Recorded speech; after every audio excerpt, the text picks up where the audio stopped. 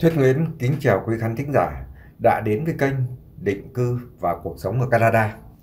Thưa quý vị và các bạn, trong video thứ ba của ngày hôm nay, Thuyết xin chia sẻ lá thư của chị Jolek Chu đến từ bên Mỹ với cái tiêu đề những nghi vấn trong vấn đề Phạm Hoa có thai và những lần xảy thai. Vâng, đây là một cái nghi vấn uh, rất là quan trọng trong câu chuyện mà chúng ta đang đang theo dõi ở trong câu chuyện tình ở xứ sở Đa Phong. Có nghĩa Phạm Hoa đã xảy thai hai lần cái lần trước thì ở cái tiệm vàng và lần này thì ở tại cái ngôi chùa. Sau khi mà Phạm Hoa đã đi cúng coi như là ngày 4 dỗ 49 ngày của chồng mình xong vào ngày hôm qua các bạn à, biết đợi ngày hôm kia chính xác là nó là như vậy. Thì ở đây là uh, Thuyết sẽ phân tích và đọc lá thư của chị Jolik Chu sau sau vấn đề này. À, trước khi đi vào đọc lá thư này, Thuyết xin chia sẻ uh, trong cái cuộc điện thoại uh, mà Thuyết mới nhận được trước đây. Vâng, trong video trước Thuyết đã nói rằng Thuyết nhận được hai cuộc điện thoại đến từ Thái Lan. Trong khi đó Thuyết chỉ chia sẻ được một cuộc điện thoại là của anh Nguyễn Phi Nong à, là một trà một người lái xe taxi kể về câu chuyện bác sĩ Trần đã bị người vợ người Trung Quốc tên là Tào Hoa tát vỡ alo. Vâng, và vì cái chuyện đánh ghen bởi vì bác sĩ Trần đã coi như là làm những cái chuyện sàm sỡ với một cái y tá người Thái Lan ở trong câu chuyện đó thì không biết rằng bác sĩ Trần là chủ đích coi như là à, thích làm cái chuyện đó hay không. Um, có rất nhiều bạn nói rằng ồ bác sĩ Trần bị uh, gãy gãy chân chứ có đâu phải là gãy chim đâu mà cho nên là bác ấy vẫn có thể làm được cái chuyện đó bình thường. Thì trong chuyện này thuyết chẳng bao giờ gãy chân cho nên cũng chẳng biết là khi mà bị như thế thì có thể là làm được cái chuyện kia hay không nữa.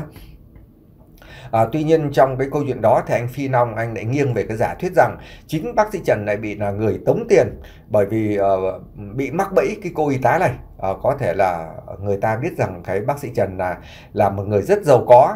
Bởi vì khi mà anh vào nhập viện là anh có quốc tịch Canada và đã từng làm bác sĩ 4 năm chục năm ở bên Canada rồi thì chắc chắn là người ta sẽ biết rằng là anh là người nhiều tiền.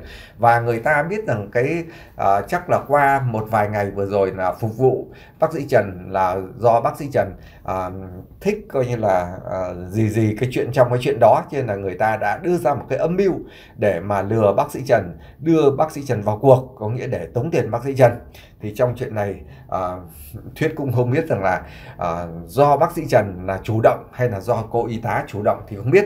Nhưng trong vấn đề mà nếu cô y tá ghi âm được thì thuyết chỉ thấy rằng rõ ràng bác sĩ Trần đã bị tống tiền. Bởi vì nếu mà bây giờ chuyện nó xảy ra bất ngờ thì làm sao cô y tá có thể ghi âm được? Lúc mà cô y tá muốn ghi âm thì bác sĩ Trần sẽ ngay lập tức không thèm làm những chuyện đó nữa đúng không ạ? Trên ở đây chắc chắn là có sự chuẩn bị trước rồi. Đấy, chỉ có một cái điều đó là thuyết nhìn thấy thôi. Còn cái chuyện mà do bác sĩ Trần thích làm cái chuyện đó hoặc là do cô y tá có à, cái sự chuẩn bị trước để tống tiền bác sĩ Trần thì ở đây nó là có rất nhiều cái câu rất nhiều cái dấu chấm hỏi và thuyết không có cái câu trả lời. Chỉ để cho các bạn tự đưa ra những cái bình luận và phán xét thôi. Ờ, người ta nói rằng là đi đêm nắm có ngày sẽ gặp ma đúng không ạ? Bác sĩ Trần có vẻ như đã gặp ma rồi à, vỏ quýt dày thì có móng ờ, móng tay nhọn. À, sẽ à, bác sĩ Trần đã chịu một cái hình phạt. Ở đây thì không biết là bác sĩ Trần đã mất bao nhiêu tiền với cô y tá này nhưng mà nếu không nhanh chóng đưa tiền ngay để nộp phạt à, ok thì có thể là sẽ bị bị khởi tố. À, trong cái chuyện này nó rất là là ghê chứ không phải chuyện đơn giản đâu. Vâng à, Bây giờ uh, trước khi mà để chia sẻ lá thư của chị Jolie Chu thì Tuyết xin uh, nói về cái cuộc điện thoại thứ hai đó chính là cuộc điện thoại của Ngân. Ngân đã điện thoại cho Tuyết trong cái câu chuyện muốn chia sẻ về vấn đề Ngân đã à, thẩm mỹ đã không thành công và cái chỗ mà thẩm mỹ đó bây giờ cái vết thương chỗ phẫu thuật bị sưng sưng nề tụ huyết chảy máu và bắt đầu mưng mủ. À, đây là một cái vấn đề rất là quan trọng. Đó cứ thích đi làm đẹp đi. À, đẹp về mặt tâm hồn, nó là nó là ok, nó là bao la bát ngát, chứ còn đẹp ở bên ngoài thì có cái gì quan trọng đâu. Đây là cách nhìn của, theo của thuyết thôi, còn chị em phụ nữ thì ai cũng thích đẹp, ai cũng thích đi thẩm mỹ cả. Cho nên là rất là khó nói uh, thuyết tại sao um, thấy rằng cái câu chuyện này nó rất quan trọng lý do tại sao vậy? Lý do mà các bạn biết trong cái cuộc uh, từ hôm qua đến giờ thì tại sao ngân không đến bệnh viện thì đây chính là cái lý do ngân bị bị mà khi phẫu thuật mà bị như vậy. Uh, bị tụ huyết này chảy máu và bắt đầu mưng mủ và nó trông nó rất xấu xí. Bây giờ thì thôi nói thẳng đi rồi. Nói thẳng cho nó nói nhanh có nghĩa là đi đóng phim ma chắc chắn không cần hóa trang nữa rồi trên ở đây là Ngân vì thấy mình bị xấu xí như vậy đã coi như là uh, mặc cảm tự ti và không dám đến với bác sĩ Trần nữa. Thì Ngân chỉ gọi điện cho bác sĩ Trần thôi. Thì bác sĩ Trần nói rằng thôi em cứ tập trung anh sẽ gọi cho các bác sĩ uh, các nhân viên thẩm mỹ để coi như là chữa cho em mà người ta phải bồi thường cho em. Em không phải lo gì cả không cần phải đến chỗ anh làm gì. Bởi vì ở chỗ anh là có các y tá phục vụ rồi. Và ăn uống thì uh, uh, anh ờ, đã nhờ cái anh Phi Long tức là anh tài xế lái xe taxi mua đồ ăn thức uống đến cho anh mang đến tận nơi. Em không cần phải no em cứ coi như no cái chuyện của em thôi. Uh, anh sẽ bảo các bác sĩ là đền bù uh, trong cái vấn đề này cho em. Đây chính là lý do mà tại sao câu chuyện diễn ra ở bệnh viện khi mà người vợ của bác sĩ Trần đến từ thành phố Vũ Hán đánh ghen rồi thì uh, rồi thì tát bác sĩ Trần ầm ầm ĩ ở bệnh viện mà Ngân không hề biết một cái gì à, có đây chính là cái lý do mà vì lý do đó mà Ngân không thể đến bệnh viện được. Câu hỏi được đặt ra ở đây là tại sao một cái đất nước Thái Lan người ta làm cái thẩm mỹ theo như thuyết biết đó, nó là rất là giỏi, rất là ok. Tức là trên thế giới những cái nước thứ ba cái nền khoa học rất là cao còn phải chạy về Thái Lan để đi làm. Chẳng hạn như là những người đàn ông người ta muốn biến thành phụ nữ không biết là gọi là cái gì nhỉ? Là người ta đến đó, người ta tức là sẽ mổ xẻ để coi như là biến thành gọi là, người ta gọi là thay đổi cái gì nhỉ? Thay đổi cái, về cái gì giới? Từ nam giới trở thành nữ giới đó, hoặc là từ nữ giới trở thành nam giới, thì ở các nước thứ ba còn chạy, phải chạy về Thái Lan để coi như là các bác sĩ ở bên đó người ta làm. Người ta làm rất là đẹp và ok nhất, đã nổi tiếng cả thế giới ở Thái Lan, người ta làm chuyện đó ok trong khi đó thì ngân đâu có cái gì ờ, lân cái cung mày lên với lại uh, bóc cái bọng mắt thôi mà bây giờ bị sưng mủ rồi thì chảy máu tụ huyết. Thì trình độ của bác sĩ nó quá kém rồi. Thì trong cái chuyện này nó có một cái âm mưu gì hay không?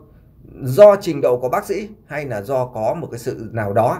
À, cái này là nói thật ra là cũng phải đặt câu hỏi đúng không ạ? Bởi vì bây giờ, nếu mà có một cái sự gì đó, ví dụ bác sĩ Trần muốn để cho Ngân bị như vậy, thì nói với mấy ông bác sĩ đó là rất đơn giản, đúng không ạ? Thì là Ngân sẽ bị thôi. Bởi vì Ngân bị rồi thì sẽ không đến bệnh viện và sẽ không gặp được cái người tên là Tào Hoa kia nữa. Đây là một câu hỏi đặt ra và chính câu hỏi này là do của anh Phi Nong đã nói thế. Thuyết câu hỏi là uh, Ngân có đến cái chỗ bác sĩ đó không? Thì anh Phi Long anh nói rằng là Ngân đang bị như vậy. Và chính Ngân cũng không cảm muốn đi ra khỏi khách sạn. Làm sao vậy? Bởi vì sợ mọi người nhìn thấy cái cái cái trông mình cứ như là uh, hoa hậu thì lại ừ, chẳng phải là hoa hậu nữa mà nhìn trông như là uh, nữ nữ gì nhỉ? Không biết gọi như thế nào nữa. Tức là như là phù thủy á ở trong khuôn mặt nó biến dạng mà bị như thế ờ, tụ huyết ờ, chảy máu rồi sưng mủ nữa thì ờ, là làm sao dám đi ra khỏi cái phòng ở khách sạn. Trên là cơm nước là cũng gọi điện cho anh Long này để mua cơm về đến tận phòng để ăn. Và đây chính là cái lý do mà anh Long nói rằng anh Phi Long ấy, là lái taxi anh nói rằng ồ rất có thể bây giờ coi như là em mới hiểu về ông Trần này. Nếu mà có thể như vậy thì ông Trần có thể đã bảo các bác sĩ ở đây là mổ làm làm sao mà nhiễm trùng để cho Ngân bị như thế là ở là Ngân không thể đến bệnh viện uh, để thăm bác sĩ nữa. Bởi vì đến bệnh viện thăm bác sĩ thì sẽ gặp cái bà tên là Tào Hoa kia. Hai người có thể đánh nhau và bác sĩ sẽ bị hỏng kế hoạch uh, kế hoạch nọ kế hoạch kia đây là cái sự nhận xét của anh Phi Long chứ không phải của Thuyết nhé à, mọi người phải phải phải nhìn theo cái cái cái cái đó. Tức là Thuyết đang nói cái lời bình luận của anh Phi Long. Có nghĩa là sao? Có nghĩa là anh Phi Long anh nói rằng là cái trình độ ở Thái Lan người ta làm rất là tốt. Làm gì có chuyện độc có mổ mổ cái cái bóc cái bọng mắt với lại ờ, lưng cái cung mày như vậy mà bị coi nhiễm trùng thì vô lý. Không có một cái kiểu thế. Đây rõ ràng có thể là sự sắp đặt trước đấy thì ở đây thì uh, thuyết không hiểu nhiều vào trong vấn đề này. À, đó là chỉ nhận xét của anh Phi Long. Còn đối với Ngân thì Ngân đã tâm sự với Tuyết rằng là Ngân cảm thấy rất là tủi thân khi mà ờ, cái cái chân mày đó nó không vào lếp không đạt được cái kết quả thẩm mỹ như là cái cái ý của Ngân mong đợi. Đôi cái mắt thì nó sụp xuống thậm chí là xuất hiện lại xuất hiện thêm nhiều cái nếp nhăn làm cái khuôn mặt là già lua như một cái mụ phù thủy trong cái phim coi như là làng bạch bạch tuyết và bảy chú lùn đấy đó tức là uh, khi mà ngân nói như vậy ngân vừa nói vừa khóc rất là tủi thân khóc rất nhiều. Uh, bảo là em bây giờ già xấu xí mà không dám uh, coi như là xuất hiện không dám đi ra khỏi khu rừng nữa. Anh có nhớ đến câu chuyện làng bạch tuyết và bảy chú lùn hay không? Con mụ phù thủy đó nó già nó xấu nó không dám cả đi ra khỏi cái ngôi rừng cái khu rừng đó nữa. Thì bây giờ em cũng có cái cảm giác như là một cái bà phù thủy như vậy. Đó thì ở đây ngân đã tả lại Thuyết thì chẳng bao giờ đi làm uh, đi nhìn cái người làm đẹp nó ra sao cả. Chỉ nhìn thấy mấy cái bà đi làm ở trên Facebook thì bà lạng bị sưng hết mỏ mỏ thì vêu vao ra đôi mắt thì sụp xuống. Trông nói thật chứ đàn trả đàn ông nào yêu được những cái người như vậy. Ở đây coi như là theo cái cách nói của ngân của của ngân là tranh chung quanh cái khu vực mắt ấy, và chân mày là bây giờ đã mất cái cảm giác bình thường thì người ta, ví dụ bấm vào cái chỗ đó người ta cảm thấy đau, đúng không ạ? Nhưng bây giờ bị nhiễm trùng, bị nọ, bị kia rồi, bấm vào đấy nó nó không còn cái cảm giác đau đớn gì nữa. Bởi vì nó cứ cứng đơ ra và coi như là muốn điều khiển theo cái ý của mình chẳng hạn. Như là ờ, đôi mắt của ngân bây giờ là các bạn biết đôi mắt của ngân á, bình thường trông rất là nhân nhân hậu đấy và khi mà muốn nhấp nháy cái cái cái nông mày cái chân mày thì nó nhấp nháy này cái kiểu theo như là kiểu gọi dai đấy, đấy. lúc mà thèm thèm dai chẳng hạn như thèm bác sĩ trần là bác sĩ trần nói chuyện đôi mắt thì nhân cũng nhíu nhíu đôi mày nhấp nháy gọi là cái kiểu gọi dai đấy. Nhưng mà bây giờ thì đôi mắt đó này không nhấp nháy nữa rồi nó cứng đơ mẹ rồi thành ra là khổ cho ngân ghê. Khi mà ngân nói chuyện về câu chuyện này thì thuyết cảm thấy là uh, các bạn thấy không? Khi con gà mái nó muốn gọi con gà trống thì nó kêu két két két thế nhưng mà ngân ngân thì ví dụ muốn gọi bác sĩ trần thì chỉ coi như là nói chuyện bằng cái đôi mắt thôi đúng không đôi mắt này coi như là lúc đó là liếc dài một cái và có như là nó sẽ, nếu mà người đàn ông nhìn vào cái đôi mắt đó, nó sẽ có thể bị hút hồn. Nhưng đến bây giờ thì nó cứng đơ rồi, mất hết cảm giác và không điều khiển được theo cái kiểu như vậy rồi. Cũng không khác gì con gà, chỉ mái nó kêu két két két mà bây giờ nó kêu loại chẳng kèm kêu két két được nữa. Thay vì kêu két két để gọi trống thì con gà mái bây giờ kêu, ôi rồi ôi vừa đau vừa rát, vừa đau vừa rát rõ ràng là ngân đang vừa đau vừa rát rồi. Và từ cái khuôn mặt đang đẹp đẽ như vậy thì bây giờ đã bị ờ, biến dạng, méo mó và mất đi cái vẻ đẹp tự nhiên ban đầu. Vâng cái vẻ đẹp tự nhiên các bạn thấy nó rất là đẹp. Nó đẹp về khi người ta để tự nhiên, nó đẹp về cả mặt tâm hồn. Chẳng hạn các bạn nhìn thấy những người con gái Việt Nam đó người ta coi như mặc bộ áo dài và người ta để cái bộ tóc dài thì có những người có bộ tóc dài coi như là như là cái dòng suối mơ ờ, và ờ, nó khi mà người ta xóa xuống bông bơm xả và đi theo chiều gió chẳng hạn thì có những cái bộ tóc nó dài đến gần tới gót chân và theo những cái luồng gió nó bay ờ, nó bay như vậy mà trông như là một cái các bạn người ta đôi khi ví như những cái áng mây ấy cho nên là nó đẹp một cách tự nhiên như vậy thì nó sẽ hút hồn những cái người đàn ông. Còn đến bây giờ thì ngân đã cảm thấy các bạn biết rồi đó. Ngân không còn đủ tự tin đi ra khỏi cái uh, cái căn phòng của khách sạn đó. Uh, đừng có nói chuyện đi đến bệnh viện nữa mà đi ngay cả đến đi ăn đi uống cũng không dám. Đúng không ạ mất đi cái vẻ tự nhiên uh, tự tin rồi và cái vẻ đẹp ban đầu bây giờ đã biến thành vẻ đẹp của uh, mụ phù thủy trong một cái khu rừng sâu rồi. Vâng uh, theo như thuyết biết là uh, trong uh, ngày mai tức là hôm nay đây này thì là, là lúc mà ngân gọi điện đang tầm về đêm rồi thì ngày hôm sau đấy và khi các bạn đang bắt đầu xem những video này thì ngân sẽ để cho các chuyên gia đi khám và điều điều trị cho ngân. Ở đây thì các à, bác sĩ trần khi mà ngân gọi điện thì bác sĩ trần đã xin lỗi rồi và bác sĩ trần nói là anh sẽ gọi điện đến cho cái thẩm mỹ viện này mà mắng chửi người ta rồi bắt người ta phải đền bù cho em đối với ngân thì đền bù tiền bạc là cái gì đâu đúng không ạ? Người ta có tiền rồi người ta cần gì? Mà đền bù sắc đẹp khi bị hỏng như vậy thì đền đền bù bằng cái kiểu gì đây? Trong khi đó thì các bạn biết không khi mà bác sĩ Trần gọi điện để cho cái những cái uh, chỗ thẩm mỹ viện đó những bác sĩ ở đó thì các chuyên gia ở đó thì người ta lại nói rằng cái lỗi này là do phía bên từ ngân bởi vì ngân là không ờ, đã không vệ sinh khu vực ờ, quanh cái mắt để cho nó sạch sẽ cho nên là, là có thể là va chạm ờ, có thể là ngân lấy cái tay sờ lắn vào những cái chỗ đó những cái vùng phẫu thuật đó khi mà nó chưa khô cái những cái vết thương. Và chính tay của ngân có thể là bẩn cho nên là sờ vào đó thì nó sẽ bị nhiễm trùng và sinh ra như vậy. Biết đâu đó trước đó thì ngân đã ừ, sờ lắn cái cái gì của bác sĩ trần rồi cho nên là chính vi trùng của cái của quý của bác sĩ Trần nó sẽ xâm phạm những cái vùng mà của Ngân nó chưa khô vết thương đó và là chính như vậy đã bị nhiễm trùng. Đây là do các bác sĩ đổ lỗi cho Ngân chứ không phải là người ta nói rằng trình độ của người ta kém. Trong câu chuyện này các bạn biết Ngân sợ nhất cái gì không? Ngân sợ rằng là sau cái đợt này thì có như là những cái vi khuẩn tấn công này và nó gây ra viêm nhiễm, mưng mủ và kéo dài ngày ra và sau đó sẽ tạo thành những cái vết sẹo xấu xí không tẩy xóa đi được nữa. Thì những cái vết sẹo này thì lúc đó thì uh, không biết nói như nào nữa. Một khi mà bây giờ mà bị uh, thành những cái vết sẹo như vậy thì thôi rồi. Khi mà như đó thì không biết là bác sĩ Trần còn yêu hay không. Và ví dụ gặp sinh viên Hùng bảo là quay lại với sinh viên Hùng thì sinh viên Hùng lúc đó sẽ có những suy nghĩ như thế nào? Trong khi đó một khía cạnh khác nữa mà các bác sĩ thẩm mỹ là đổ lỗi cho Ngân. Bởi vì trước đó là khi chuẩn bị mà bắt bắt đầu vào làm đẹp ấy thì các bác sĩ thẩm mỹ đã nói rằng đã góp ý với Ngân rồi là trong cái uh, cái cái cơ thể của Ngân là cái điều quan trọng là cái cơ địa sẹo lồi. Uh, không biết thuyết không hiểu sẹo lồi là như nào. Tức là sẹo lồi của Ngân là không phù hợp để lưng cái cung chân mày này lên. Uh, các chuyên gia các chuyên gia đã khuyến cáo rồi gì nhưng mà Ngân vẫn cứ chủ quan và bảo các chuyên gia cứ làm đi à, chắc chắn là ngân sẽ làm làm được và đẹp. Thế cho nên là bây giờ cái cơ địa sẹo lồi nó như nào là thuyết cũng không hiểu chỉ hiểu là sẹo lồi có nghĩa là có thể khả năng là những cái đó là sẹo và nó lồi lên khỏi cái mặt uh, nó lồi lên trên khuôn mặt đúng không ạ? Chứ nó không kín ví dụ như là cái sẹo nó không lồi thì nó bằng phẳng nhưng mà nó lại lồi lên một cái cái miếng thịt ở trên mặt nữa thì khác nào coi như là ừ, không biết là hình dung khuôn mặt đó như thế nào.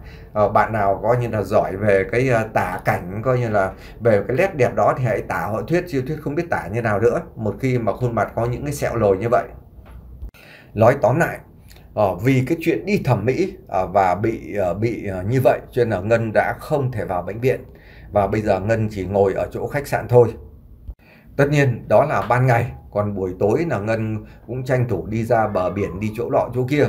À, tuy nhiên các bạn biết đó, à, buổi tối nhưng mà ở những cái khu vực mà gọi là khu du lịch đó thì có như điện cũng sáng còn hơn cả ban ngày. Cho nên là à, người ta ví dụ người ta nhìn vào mặt người ta vẫn biết được cho nên là bởi vì những khu vực đó các bạn mùa hè này á theo như thuyết biết ở những khu vực và du lịch bên vùng biển ở Thái Lan ban đêm nó còn đông hơn cả ban ngày bởi vì chính ban đêm uh, cái thời tiết nó mới mát mẻ. Đó chứ ban ngày ờ, nó, nó nắng kinh khủng lắm. Ở bên Thái Lan nó nắng to hơn ở bên phía Việt Nam rất nhiều. Và bên bên Thái Lan nó bị có một cái dở. Ví dụ như ở Việt Nam á nắng nhưng nó còn có gió tức là nó vẫn mát, nhất ở trong miền Nam thì nó có nhiều ao hồ sông ngòi, đúng không ạ? Gió nó mang cái hơi nước, nó thổi rất là mát đến cơ thể con người. Nó không giống như ở miền Trung. Ở miền Trung là nó có nắng gió lào và khi mà những cái cơn gió nó thổi thì như là những cái ngọn lửa nó nó nó nó xâm phạm vào người các bạn. Rất là đáng sợ còn thì ở bên Thái Lan thì nó lại đặc biệt nó không có gió tức là nó có nhưng mà rất là ít. Đấy cho nên là ở đây là cái thời tiết ở bên Thái Lan nó hơi bị khắc nghiệt cho nên là người ta chính đi du lịch nhưng người ta lại sống về đêm nhiều hơn. Đấy cho nên là ở đây là ban đêm cũng rất nhiều người cho nên là chính ngân cũng không dám coi như là cả xuất hiện nhiều về cả ban đêm nữa. Trong câu chuyện muốn sửa sắc đẹp của Ngân bây giờ thì theo tôi nghĩ uh, Ngân chỉ có gọi nhà văn Nam Cao sống trở lại để coi như là nói về ngày xưa thị nở như thế nào uh, thì ờ, bảo nhà văn Nam Cao để viết chữa thành những cái làm sao mà trở thành một người ờ, nó khác không phải giống thị lở ngày xưa nữa thôi chứ còn chả có cách nào cả. Bởi vì coi như là những cái chuyên gia phẫu thuật đã nói như vậy rồi đúng không ạ? Vâng, bây giờ Thuyết không bàn đến cái chuyện phẫu thuật nữa, chẳng qua bàn đến chuyện này lý do bởi vì chỉ có một lý do duy nhất, đó chính là lý do tại sao Ngân không thể đến bệnh viện và lý do tại sao mà Ngân và cái người phụ nữ là người vợ của bác sĩ Trần từ Trung Quốc đến Thái Lan thì hai người lại không gặp nhau. Đó chính là lý do Ngân không vào bệnh viện được. Vâng, bây giờ Thuyết sẽ xin chia sẻ lá thư của chị Jolik Chu đến từ bên Mỹ với cái tiêu đề rằng là những nghi vấn trong vấn đề Phạm Hoa có thai và những lần xảy thai. Thân chào anh Thuyết và các bạn. Vì chuyện hai lần xảy thai liên tiếp của Phạm Hoa có liên quan đến một nhân vật đáng sợ trong câu chuyện tiền bạc, âm mưu và tình yêu ở xứ sở La Phong, thì chúng ta cần bàn có khả năng những âm mưu gì đã xảy ra. Trước hết, Phạm Hoa đã từng có tiền sử thầy sai trước lần sinh em bé gái 3 tuổi hay không? Nếu Phạm Hoa không có tiền sử hư thai trong quá khứ thì khả năng bị cho uống thuốc phá thai mà Phạm Hoa không hay biết cần được đặt ra Mục đích, động cơ của việc phá thai đó là gì? Quá dễ để suy đoán. Theo y khoa, ít có khả năng xảy thai lần thứ hai của Phạm Hoa vì do quá gần với lần xảy thai trước. Ngay cả sau khi xảy thai thì người ta đã có thể mang thai nếu như cơ thể khỏe mạnh. Sự đo nắng chủ chủ yếu là sợ bị nhiễm trùng, phụ khoa, nếu giao hợp sớm mà thôi. Một vài đường link của các bệnh viện tại Mỹ để các bạn tham khảo. Vâng, bạn ờ, chị Jolik Chu đã gửi hai đường link ở trong cái lá thư này uh, sau khi mà chị ấy viết. Đó chính là điều thứ nhất. Và điều thứ hai, lần xảy thai tại tiệm vàng ở Quebec với cú ngã không quá nặng, nhưng máu ra ào ạt ngay lập tức, phải chăng đã có một liều thuốc phá thai nào đó đã được âm mưu cho Phạm Hoa uống, mà Phạm Hoa không biết và cú ngã là tác động cuối cùng trùng hợp với khi thuốc phá thai phát đi tác dụng. Mục đích là gì? Loại trừ giọt máu của tình địch mà hắn ta căm ghét à, thù hằn vì bị đòi tiền trăng. Thứ ba, thời gian Phạm Hoa đi khỏi căn nhà mà ông già dâm đãng lầy thuê đó là vào ngày mùng 3 tháng 7 năm 2024 giờ Canada theo như lá thư của Phạm Hải viết vào lúc 4 giờ sáng ngày 3 tháng 7 năm 2024 giờ Việt Nam, thì sáng hôm sau Phạm Hoa liền bỏ trốn.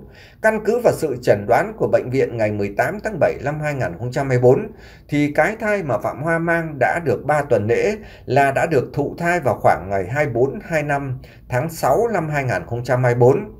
Ngày Phạm Hoa ra đi cũng là ngày Phạm Hoa đến nhà Tuấn tị nạn ngày mùng 3 tháng 7 năm 2024. Vậy có có thiếu khả năng đần độn cỡ nào cũng biết Tuấn không phải là thủ phạm. Vậy thì ai trồng khoai đất này? Tác giả cái bảo thai này là ai? Rõ ràng người đàn ông đã đến ở chung nhà với Phạm Hoa ngay sau khi Phạm Hoa xuất viện từ Quebec về mỗi đêm và ở liên tục cho đến ngày Phạm Hoa bỏ trốn. Phải là tác giả cái bảo thai đó. Vậy mà gã đàn ông này đã chối bỏ và một người đàn bà u mê đã tin lời dối trá rất um, sơ đẳng đó. Người đàn bà u mê này tin, nhưng chúng tôi và cảnh sát thì không bao giờ tin. Uh, y không phải là thủ phạm của cái bào thai mà Phạm Hoa mang đâu nhé. Vì vậy chẳng cần phải thử ADN cái bảo thai như một số các bạn lo no lắng cứ tính tuổi của thai nhi ở rồi trừ đi thì sẽ ra thời gian khởi điểm mang thai và thủ phạm ắt sẽ nổi ra thôi. Đừng nghĩ rằng cái thai bị sảy rồi thì thoát được bằng cớ phủi được trách nhiệm. Và để ngăn ngừa người đàn ông đồi bại này tiếp tục dở những trò dâm dục hoặc bắt cóc bé Huy đem về Trung Quốc như Phạm Hải đã tố cáo trong lá thư ngày 3 tháng 7 năm 2024, thì một uh, án lệnh của tòa án cấm hẳn à, cấm hắn ta đến gần Phạm Hoa trong vòng vài trăm mét là điều rất dễ làm và cần làm. Từ đó cha mẹ của Phạm Hoa có thể sang Canada ở mà không còn phải lo lắng uh, tên ung nhọt biến thái này. Với lần xảy thai thứ hai, nếu cần điều tra nguyên nhân thì cũng không khó. Người đang bị tình nghi là ai? Phải chăng cô gái đột nhiên lân na để tiếp cận với Phạm Hoa đã là điều chúng ta không nên bỏ qua. Sự trao đổi của dịch vụ độc ác này là kiếm vé cho em qua Canada. Còn phía bên kia cũng xóa bỏ trách nhiệm và tự nhiên trắng án với người đàn bà này mà y đang uh, dắp tâm mê hoặc. Chỉ cần cảnh sát vào cuộc truy tìm lịch sử của các cuộc gọi, test cộng với khả năng thẩm vấn của uh, cảnh sát là ra ngay thôi. Lịch sử các cuộc gọi và các tin nhắn dù có bị xóa bỏ trên phone hoặc các mạng xã hội thì cảnh sát cũng tìm ra trong một lốt nhạc. Cái kim trong bọc có ngày rồi cũng lòi ra, tự nhiên nói ra một người phụ nữ 28 tuổi đến từ Vũ Hán, tự xưng là vợ và có đứa con 4 tháng với hắn. Tự nhiên nói ra chuyện Tám Trang lại nói hắn đã từng cầu hôn với Tám Trang. Số tiền mà hắn tặng cho gia đình Tám Trang thì gia đình Tám Trang không có bổn phận phải trả lại. Vì cho là cho, mượn là mượn. Mượn thì phải trả, còn cho thì không có quyền đòi. Ờ, và người cho không có bổn phận phải trả lại. Chúc Phạm Hoa mau bình phục, cầu xin Thượng Đế làm cho một người phụ nữ đang u mê và đang uh, đáng thương tỉnh táo lại. Hùng sáng suốt giữ gìn đứa con của mình trách tai họa đang rình rập nó. Biện pháp hữu hiệu nhất đó là cảnh sát vào cuộc. Thật tình chẳng còn lời nào nọ, lời nào để nói cho chính xác về gã đàn ông kinh tởm này. Theo ý tôi, lâu lâu Thuyết và các bạn như Hương Bùi, bạn Nại Thị Vinh, bạn Nga Trinh có đùa một chút cũng không sao. Người Mỹ họ thích hài hước lắm. Tôi cũng vậy, nghe các bạn và anh Thuyết trao đổi, tôi cứ lăn ra cười, thấy không có gì là quá đáng cả chào uh, Thuyết, Võ Ái Khanh, uh, cả hai bạn đều nhân ái. Vâng, đây là toàn bộ lá thư của chị Jolik Chu đến từ Hoa Kỳ. Vâng, chị Jolik Chu nhiều tuổi rồi các bạn. Nhiều hơn Thuyết rất nhiều. Và chị ấy vẫn cứ đồng tình theo cái cách uh, uh, khôi hài của bạn Nga Trinh uh, hoặc là của bạn Nại Thị Vinh, uh, bạn Hưng Bồi vân vân nhưng mà thuyết thì thích lắm nhưng mà nói thật là thuyết ừ, biết rằng trên kênh của chúng ta có rất nhiều uh, quý khán thính giả nhiều tuổi đáng tuổi ông bà rồi thì cụ kỵ nữa sợ ờ, họ tự ái bởi vì họ có tuổi rồi. Họ sợ rằng là những cái chuyện như vậy thì sẽ ví dụ như những cái lớp trẻ nó sẽ thế nọ thế kia đây là thuyết no xa thì cho nên là thuyết uh, muốn bảo tất cả quý khán thính giả là thôi thì nói như vậy thôi là xa xa mà tí nó vui nhộn như vậy thêm những tiếng cười thôi. Chứ còn thì mình quá đi đôi khi nó lại trở thành coi như lỗ bịch đúng không ạ? Vâng thì coi như là uh, chúng ta cứ gọi là nói xa xa làm sao đó cho nó mọi người hiểu hiểu cái ý là sướng lắm rồi. Đó các bạn thấy đó khi mà những lá thư của chị Jolie Chu viết thì có một cái sự liên kết chặt chẽ trong lá thư này thuyết biết chị Jolichu muốn nói tới hai người, nhưng mà chị ấy không bao giờ nhắc tới tên. Nhưng không cần phải nhắc tới tên thì người ta cũng biết người đó là ai. Chẳng hạn như là chị ấy nhắc tới một người đàn ông mà chị ấy gọi là gã đàn ông kinh tởm, thì ai cũng hiểu rằng là à, ý của chị Jolichu muốn nói tới ai rồi.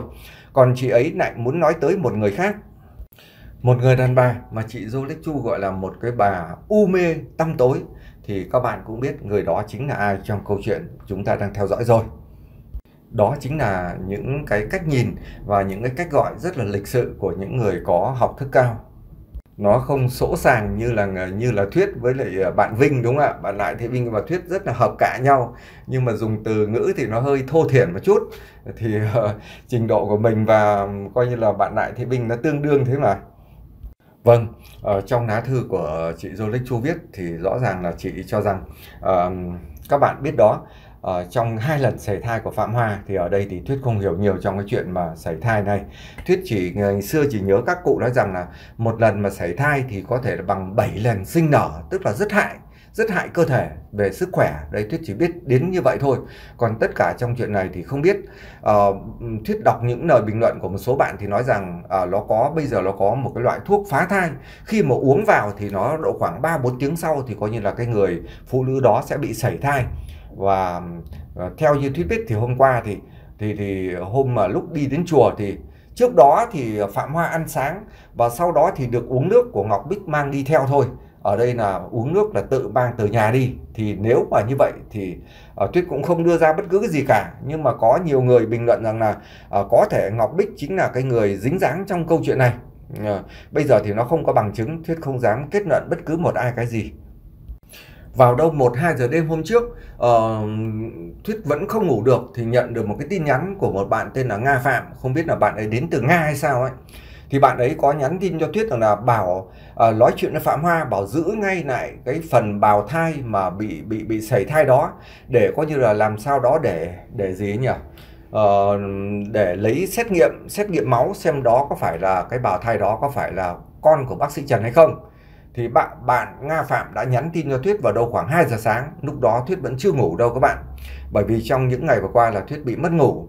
À, tuy nhiên đến sáng ngày hôm sau uh, tầm đâu 10 giờ thì Thuyết coi như là uh, nói với uh, nhắn hỏi cái tình hình đó. Thì ở đây thì coi như Ngọc Bích bảo các bác sĩ có giữ lại cái gì đâu? Tức là khi bị sảy thai đó người ta chẳng giữ lại được cái gì. Đó. Thì thuyết biết được là vào ngày hôm qua uh, hiện tại thì là vào phạm hoa vẫn đang ở bệnh viện và đêm hôm trước là ngọc bích ừ, ở ở với bệnh viện nhé các bạn. Ờ, trông trông Phạm Hoa. Ồ, Ngọc Bích không biết tại sao rất là nhiệt tình trong thời gian này bởi vì Ngọc Bích chỉ đưa ra một lý do là Ngọc Bích rất đáng thương Tám Trang và Phạm Hoa nữa cùng là phận phụ nữ với nhau rất là đáng thương. À, người Việt thì yêu thương nhau. Trong khi đó thì Ngọc Bích đang bị thất nghiệp cho nên là Ngọc Bích uh, quan tâm tới mọi người trong khi đó thì Tuấn đã đưa hai đứa con của Phạm Hoa. Khi mà Phạm Hoa bị sảy thai thì Tuấn quay đến bệnh viện và sau đó đến tận nhà của Tám Trang để đón hai đứa con của Phạm Hoa về nhà mình nuôi. Bởi vì hiện tại có thể Phạm Hoa không biết là làm bệnh viện mấy ngày, mình không biết nữa nhưng các bạn biết đó Tuấn có một đứa con và hai đứa con của của Phạm Hoa là rất thích chơi với đứa Ngọc Anh đứa con gái của Tuấn. Ấy thằng Huy à, thằng Huy 6 tuổi và đứa em của nó nữa. Cho nên là chúng nó gặp nhau như cá với nước các bạn. Trẻ con chúng nó ở bên này nó ít bạn bè lắm các bạn ơi. Và khi chúng nó gặp nhau rồi thì chúng nó sướng lắm. Nếu các bạn hình dung ra được chúng nó ôm lấy nhau từ xa mà nhìn thấy nhau một cái chúng nó nao đến chúng nó ôm lấy nhau. Như là cái kiểu như là uh, Ờ, như là mong mỏi mẹ đi chợ về mua cho được một cái bánh đa. Ngày xưa thuyết nhớ là nghèo đúng không ạ?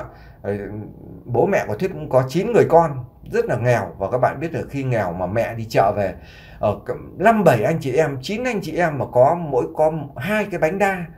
Cái bánh đa lướng đó thì coi như mẹ đi chợ về thì làm gì có cái gì, chỉ có hai cái bánh đa làm quà, coi như là bảy, tám, chín anh chị em là bẻ ra mỗi người một miếng nhỏ nhỏ để ăn. Mừng đến mức độ như vậy thì bây giờ trẻ con ở đây nó gặp nhau nó cũng thế. Coi như là nó nó nhìn thấy từ xa cái nó nao đến nó ôm chầm đấy. Không khác gì ngày xưa, tuyết nhớ là thấy mẹ coi như gánh cái bộ đôi quang gánh đi chợ về là lao từ trong trong nhà đi ra ngoài cổng để đón mẹ. Thì nhìn thấy cái cảnh đó, các bạn thấy rằng trẻ con mà ít bạn bè, rất là tội nghiệp, rất là thương chúng nó à, Thuyết thấy thằng Huy thì nó đỡ hơn bởi vì thằng Huy nó có nhiều đồ chơi mà bác sĩ Trần mua cho nó từ trước nhất là cái trò chơi cái máy bay các bạn nó rất thích chơi cái máy bay à, điều khiển bằng pin mà cái máy bay nó bay lên trời nó bay nó phát ra cái tiếng kêu các bạn ạ. Nó rất là nói thật là người lớn còn thích chứ đừng nói là trẻ con. Và cái thứ hai thằng Huy nó cũng có vẻ như nó giống rất giống bác sĩ Trần nó có nhiều cái tài nẻ. Có nghĩa là nó đánh đàn piano rất là tốt rất là hay các bạn đó nó lại được thầy giáo dạy nữa cho nên là nó có hình như thằng Huy theo theo thuyết thấy sau này nó sẽ trở thành một thiên tài đấy các bạn. Nó mới bé tí 6 tuổi. Ờ, so với con của mình bây giờ nó có biết chơi đàn cái gì gì đâu. Con mình cái thằng 14 tuổi rồi còn chưa biết chơi gì cả nhưng mà thằng này có 6 tuổi là biết đủ kiểu rồi. Cho nên là sau này nó sẽ thành một thiên tài vậy mà có một số bạn bảo là hoa đi phá thai đứa con của bác sĩ trần đi thì tuyết cũng không hiểu như thế nào. Ờ, nó là ai thì ai nó vẫn là con người. Và chúng nó được sự giáo dục tốt thì nó vẫn làm những cái thiên tài để sau này trở có ích cho xã hội. Làm sao mà cứ nghĩ là con của người ta người ta xấu mà sau này con của người ta lại xấu được? Thì các bạn đừng nghĩ như vậy. Đấy, có rất nhiều người bố mẹ không ra gì nhưng con cuối cùng lại trở thành tuyệt vời chứ. À, Thuyết không dám phân tích cái lá thư của chị Dô Chu nhiều bởi vì uh, tất cả các chuyện mà thứ nhất là chuyện thai thiết là Thuyết không hiểu này rồi chuyện liên quan cảnh sát thì Thuyết cũng lé bởi vì có nhiều người đã khuyên rất là khuyên Thuyết rồi là đừng có liên quan gì tới cái người mà gọi trong cái vụ bệnh viện bởi vì cảnh sát đang ừ, tìm hiểu trong cái vụ mà cháo đổi hai đứa bé gì gì đó thì không nên liên quan tới. Thì tốt nhất là Thuyết cũng ừ, lé đi cho nó lành bởi vì mình, ví dụ bây giờ thôi ờ, vào đồn một vài ngày thôi, con cái không biết ở nhà như thế nào, nó khác hoàn toàn những người khác. Và ở trong câu chuyện này thì mình không hiểu nhiều lắm, chỉ có người hiểu được luật pháp thì người ta hiểu được. Thì ờ, theo thuyết nghĩ rằng lá thư của chị Jolet Chu viết đã quá rõ ràng rồi, mà theo thuyết nghĩ là không ai bắt bẻ được chị ấy cả bởi vì uh, uh, tuyết thấy trong kênh định cư Canada thì chị ấy là người trình độ có cái trình độ nó cao nó cao vượt bật lên. Khi chị ấy đã đưa ra tất cả những cái gì đó nó đều có cái cái lập luận rất là chặt chẽ không ai bắt được. Một cái điều khác nữa thì chị ấy đưa ra cái chặt chẽ đến mức độ là chị ấy viết từng ngày, từng tháng. Chị ấy nhớ từng, ví dụ từ là ngày mùng 3 tháng 7 năm 2024 giờ Canada, thì là lúc đó là Hải viết thư vào lúc 4 giờ sáng ngày mùng 3 tháng 7 năm 2 giờ 224 giờ Việt Nam. Tất cả những lập luận của chị ấy đều có căn cứ lá thư viết từ lúc mấy giờ mấy giờ, nó đều nhớ hết. Trong cái đấy thuyết là người đưa thông tin, nhưng nói thật các bạn, thuyết chả nhớ giờ rất là à. Không nhớ một cái gì nếu bây giờ mà đi tìm hiểu thì thật sự là thuyết đi tìm lại những cái video đó là thuyết cũng không biết tìm nữa. Ấy, bởi vì nếu mà tìm là mình phải nghe nghe lại từng video một. Bởi vì không biết rằng là cái video đó là nằm ở đâu. Cái lời nói đó mà mình hôm đó đưa thông tin, cái lá thư đó là nằm ở đâu. Có thể mình nhìn tiêu đề, có thể là tìm được, nhưng mà cũng rất là mất công nhiều, chứ không phải đơn giản vậy mà chị Rolex Chu tìm được và đưa ra tất cả những cái tức là đưa ra cả cái lá thư đó vào lúc mấy giờ mấy giờ? Giờ Việt Nam hoặc giờ Canada thì phải nói là chị theo dõi rất sát sao và coi như là không ai theo thuyết nghĩ không ai có thể bắt bẻ được. Ý của chị nói rằng khẳng định trong cái ví dụ cái thai thứ hai được của của người nào đó uh, đã coi như là làm cho Phạm Hoa mang bầu thì nó rõ ràng ngày tháng như vậy và theo cái nhận xét của các bác sĩ là cái cái bào thai này 3 tuần tuổi thì chắc chắn là cái bào thai đó là là của ai rồi. Đấy người bố của nó là ai rồi? Chứ còn thì nói như bạn à, Nguyễn Minh Hằng chẳng bạn bảo là ngủ ở nhà Tuấn. Phạm Hoa mới đến ở nhà Tuấn là vào cái ngày hôm nào đây này? Chị Dô Lích Chu nói này là cái ngày uh, uh, uh, ngày Phạm Hoa ra đi cùng ngày Phạm Hoa đến nhà Tuấn tị nạn vào ngày mùng 3 tháng 7 mùng 3 tháng 7 thì các bạn tính đi đến nhà Tuấn ngày mùng 3 tháng 7 thì làm sao có cái thai 3 tuần. Đấy nó là như vậy. Trên là ở đây là các bạn phải uh, xem xét từng ngày từng tháng một nhá. Trên là nói thì phải nói như chị Dô Lê Chu không ai bắt bẻ được. Chứ còn thì nói sơi sơi mà không có bằng chứng thì người ta sẽ bắt bẻ các bạn rất là dễ dàng. Trên đó nếu mà đã nói về luật là phải nói như vậy. Thuyết thì chịu không hiểu về luật rốt về luật Thuyết chỉ uh, chia sẻ thôi chứ không dám bình luận hơn có một chuyện nữa, Thuyết ờ, cũng thấy rất rất thích thú trong cái chuyện của quan niệm của chị Jolie Chu.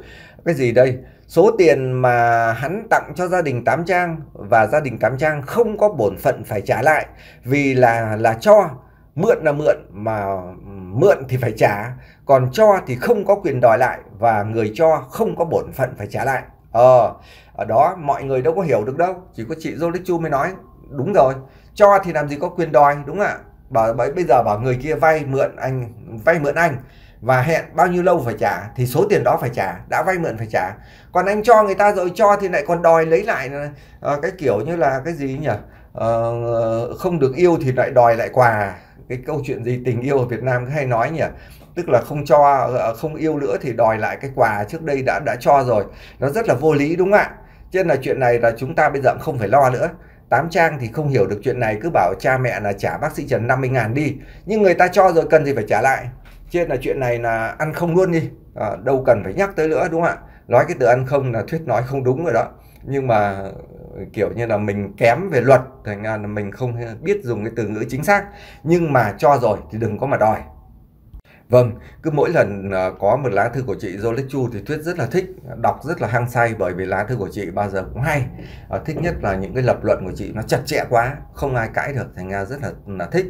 Vâng, và rất mong cái sự đóng góp của chị Dô Chu tiếp tục trong những ngày ngày tháng tới. Xin cảm ơn chị Dô Chu và xin cảm ơn tất cả quý khán thính giả trên kênh Định cư Canada và xin hẹn gặp lại quý khán thính giả và các bạn trong những video tới đây.